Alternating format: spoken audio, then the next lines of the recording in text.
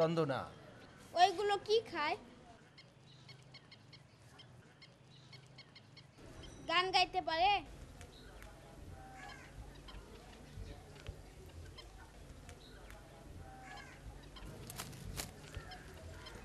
জ্বালায়ও না।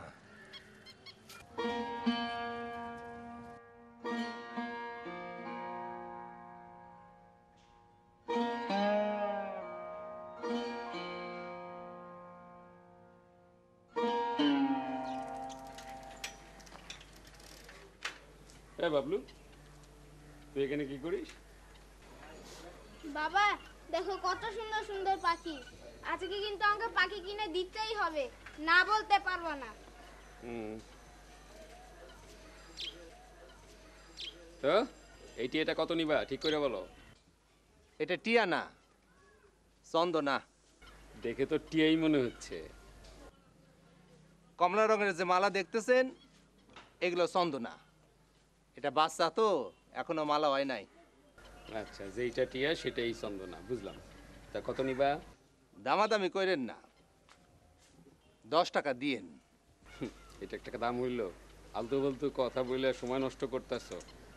আয় চল বাসায় চল। আচ্ছা যান নয় টাকা দিয়েন। তাও পারলাম না। এক টাকা কমাইয়ে দিলাম আরও কম চান। আমাদেরও তো প্যাট আছে।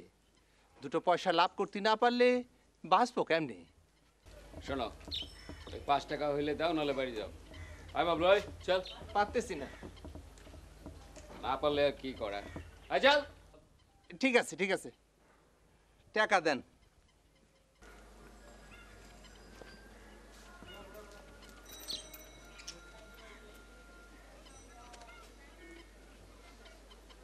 আচ্ছা ঠিক আছে। তুমি এখানে একটু দাঁড়াও আমি আসছি। ঠিক আছে? আয়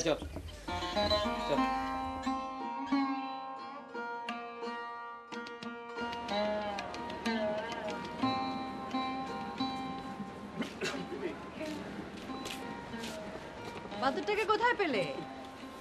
সে কখন থেকে ডাকছি? তা কে শুনে কার কথা?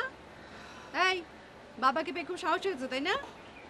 তা পড়ালেখাটা কে করবে শুনি? কাছে দুটো টাকা হবে? দুটো টাকা? এত টাকা দিয়ে কি হবে? না মানে একটা টিয়ে পাখি কিনবো টিয়ে পাখি। না চন্দনা। ও হ্যাঁ ও বুঝেছি। বাবলুর মাথার পোকা তোমার মাথায় ঢুকেছে। আমার কাছে এত টাকা নেই। না মানে ছেলেটা এমন করে ধরেছে যে খুব একটা বেশি দামও না কিন্তু। এই পাখিটা যদি তুমি দয়াগঞ্জ বাজারে কিনতে যাও তাহলে এই দাম পড়বে প্রায় পনেরো টাকা। তাই বলছিলাম আর কি তাই বলে পাখি আমার কাছে এক টাকা আছে। আর শোনো তোমার বেতন পেতে আরও এগারো দিন বাকি। সে কথা মনে আছে তো? হুম, সে দেখা যাবে। তোমার কাছে যা আছে তাই যা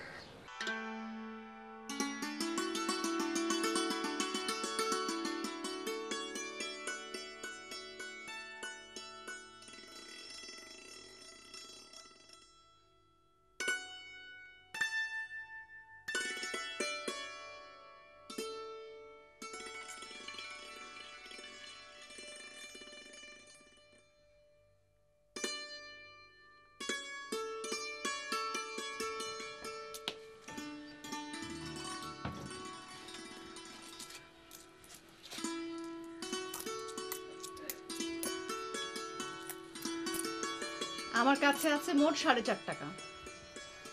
হুম। নাও।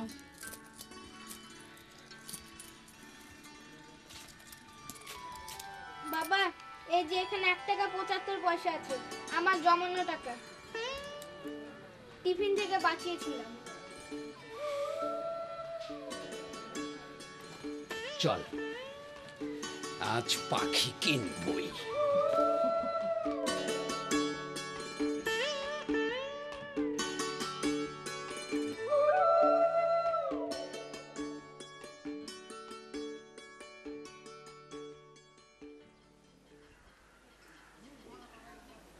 পাখিতে ধান খাবে হ্যাঁ?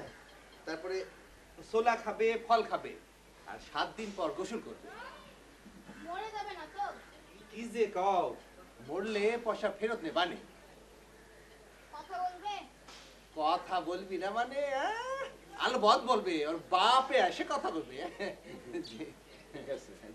এই, চল।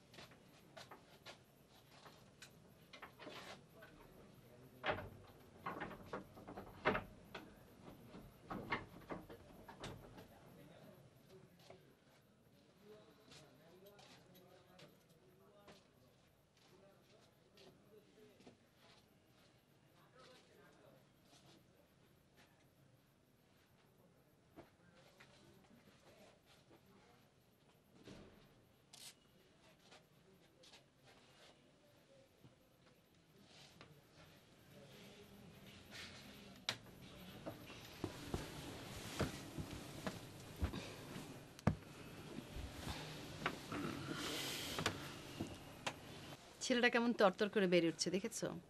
আমি একা ওকে সামলাতেই পারি না। ও সবটা কিন্তু আমার বেশ ভালোই লাগে। কেমন যেন একটু খ্যাপাটে। কাল থেকে না আবার সেই পাখিটা নিয়ে মেতে ওঠে। পড়াশোনা লাটে ওঠে।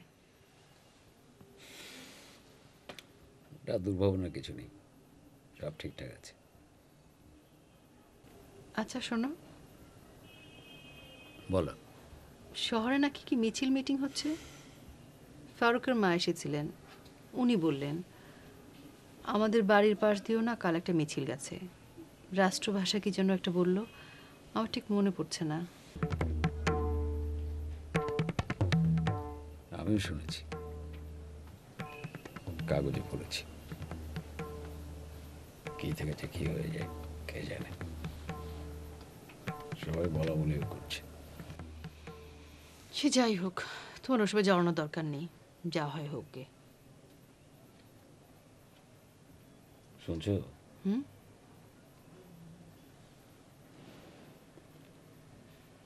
বাবলুকে মিছিল দেখতে যেতে দিও না।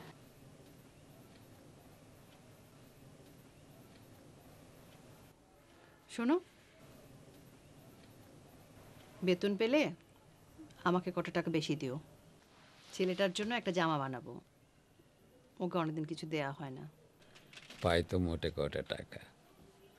তারপর দিন দিন দেনার দেয় একেবারে চ্যাপটা। ভাগ্যিস বাপ দাদার এই ভিটেটা ছিল। তা না হলে তো রাস্তায় গিয়ে দাঁড়াতে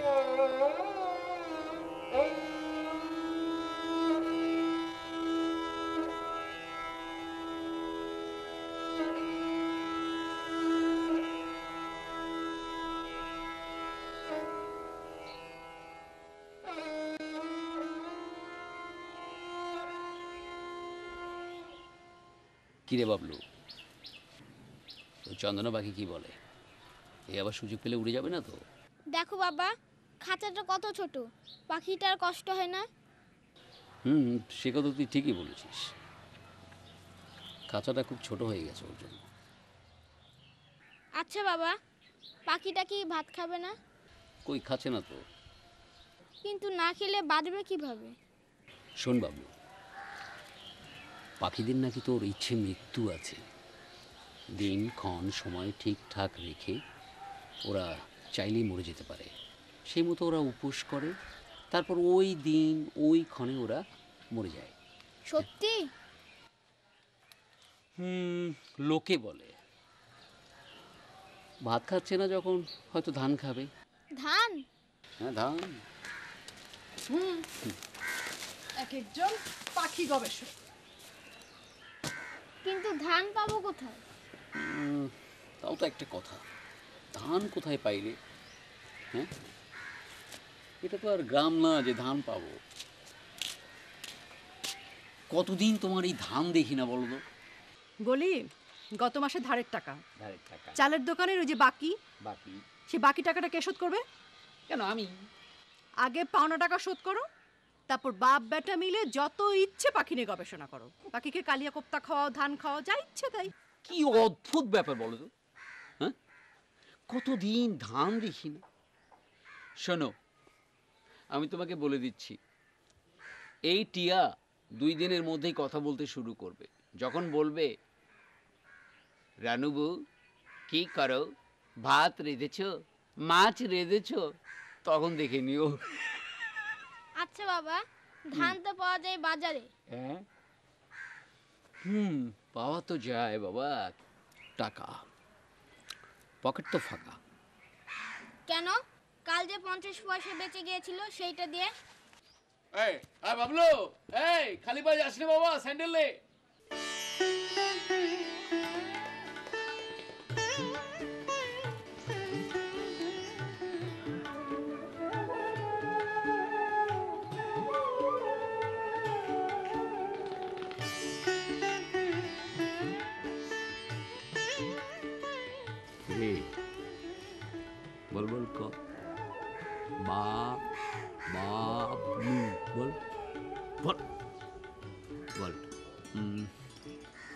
জমান জমান বল রানু বু রানু বু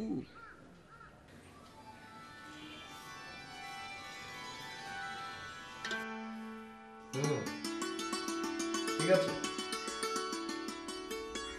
তুমি যাও